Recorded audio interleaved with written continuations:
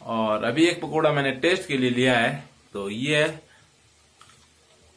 तो कर लेते हैं एक नए दिन और एक नए ब्लॉग की शुरुआत। सो हेलो यूट्यूब फैमिली कैसे आप सभी लोग? आई होप सब बढ़िया होंगे।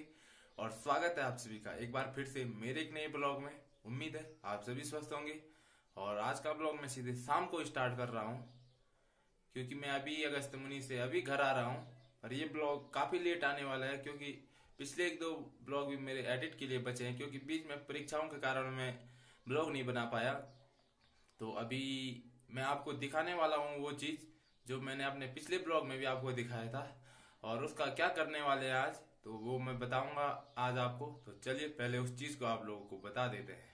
और जो चीज़ मैं अभी आप लोगों को दिखाने वाला हूँ तो अगर मुझे लग रहा है कि मेरे गाँव वाले और अन्य जो भी बाहर के, जो भी गढ़वाल में रहते हैं या उत्तराखंड में रहते हैं तो जो ये ब्लॉग देखेंगे तो वो ये काम ज़रूर करेंगे। क्योंकि ये एक चीज़ ही ऐसी है जो मैं आज आपको दिखाने वाला हूँ इस ब्लॉग में। और इसका पूरा प्रोसेस मैं आगे आपको बताऊँगा क्या क्या करते हैं और क्या क्या होने वाला है आगे। तो ब्लॉग में बने रहिए और अगर वीडियो पसंद आती है तो वीडियो को ज़रूर लाइक करें। तो चलिए दिखाते फिर आपको। और ये वाले फूल थे जो मैंने आपने पिछले वाले ब्लॉग में जिसमें हमने तेड़ों को निकाला था, उस वाले ब्लॉग में भी आपको दिखाया था, ये वाले फूल। तो ये है सकीना के फूल इनको कहेंगे हम, पर हिंदी में मुझे इनका नाम पता नहीं है कि हिंदी में क्या कहेंगे। तो आज हम इसके, इन फूलों से पकोड़े बनाने वाले हैं, और आपको भी दिखाएँगे किस तरह से इसके पकोड़े बनते हैं। बहुत ही टेस्टी इसके पकोड़े होते हैं, मैंने पहले खाए थे, पर अपने ब्लॉग में आपको पहली बार दिखाऊँगा। तो चलिए, पहले इन फूलों को इससे अलग करते हैं, फिर बताते हैं आपको भी।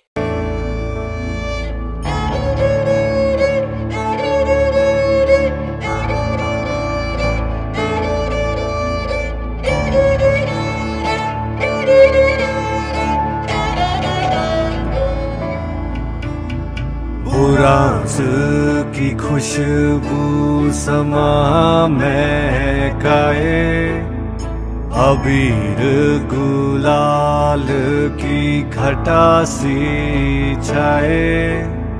चीड़ चिनार भी तुझको बुलाए। हिट ओ दाजू पहाड़ लौट जाए।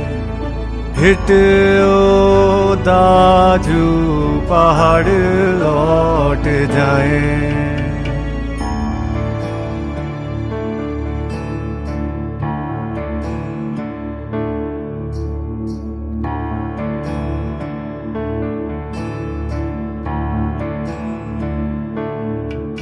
अभी तक ये सारे फूलों को उससे अलग कर दिया है और ये कुछ इस तरीके के अभी फूल हो रखे हैं। तो इनको मिलाएँगे, मैदे के साथ या आटे के साथ इसको मिलाएँगे। तो फिर दिखाते हैं आपको। और अब हमने इसमें बेसन को मिला दिया है। और यहाँ पे है माँ जी। और कुछ इस तरीके का होता है पहाड़ों में चूल्हा। और चूल्हे में रखी गई है कढ़ाई और इसमें तेल भी डाल दिया है। और ये हमारा चूल्हा। और टाइल भी लगी गई है किचन में। तो इसको हम मॉडर्न कॉम्बिनेशन कह सकते हैं। नए जमाने का भी और पुराने जमाने का भी कॉम्बिनेशन हमने किया है, क्योंकि किचन में आप देख रहे होंगे टाइल भी लगाएगी और चूल्हे का प्रयोग भी किया गया है।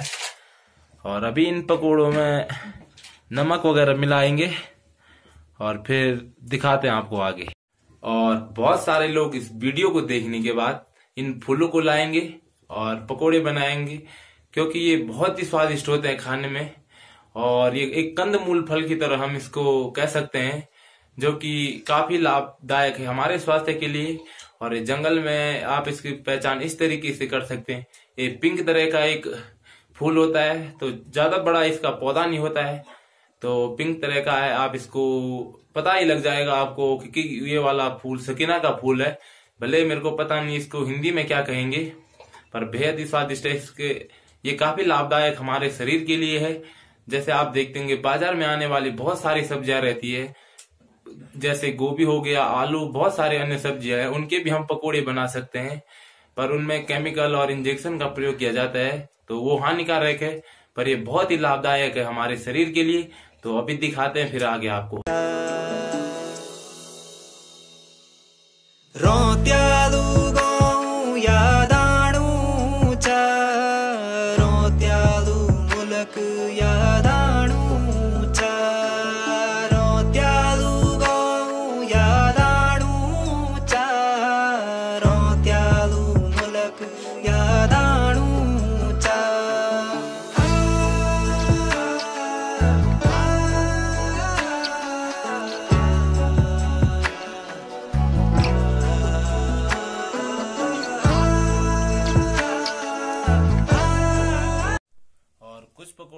बन चुके हैं और हमारी रीत है कि जब भी कोई हम पकवान या स्वादिष्ट डिश कोई बनाते हैं तो उसके सबसे सबसे पहले अपने पितृ देवों के लिए उसको रखते हैं। तो चलो मैं भी रख देता हूँ। तो इसको रखते हैं फिर। तो चलिए, अभी दिखाते फिर आपको आगे। और अभी एक पकोड़ा मैंने टेस्ट के लिए लिया है। तो ये तो काफ़ी स्वादिष्ट हो रहा है। तो आप भी ज़रूर इसको ट्राई करें एक बार। काफ़ी बढ़िया ये हो रहा है और स्वास्थ्य के लिए लाभदायक है ये मैंने आपको पहले ही बता दिया है। तो अभी और भी दिखाते हैं आपको। चलिए फिर बने रहे मेरे साथ। और अभी आगे आने वाली वीडियो में आपको मेरे इस चैनल के माध्यम से पहाड़ों में होने वाली औषधि या जो कुछ भी अन्य दवाई वगैरह जो किसी काम में आती है, पहाड़ों में जो भी होते हैं, जैसे मैंने आज आपको सकिना के फूल दिखाया कि हम इसके पकोड़े बना सकते हैं, इसी प्रकार और है। कंडाली का साग हो गया या अन्य जो भी चीज़ें होंगी, मैं आपको अपने इस ब्लॉग के माध्यम से ज़रूर दिखाएँगा दिखाऊँगा। तो ज़रूर मेरे को सपोर्ट करें और मेरे चैनल पर जो भी लोग नए आ रहे हैं तो ज़रूर सब्सक्राइब करें। मैं आपके लिए ऐसी नई तरह की वीडियो लाते रहूँगा तो बने रहिए फिर मेरे साथ।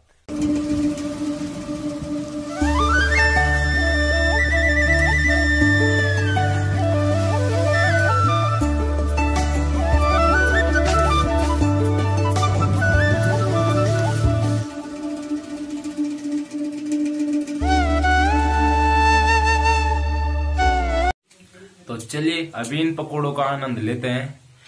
और उम्मीद करता हूँ आपको ये वीडियो ज़रूर पसंद आए होगी। और इस वीडियो को देखने के बाद आप भी ज़रूर इन पकोड़ों को बनाएँगे।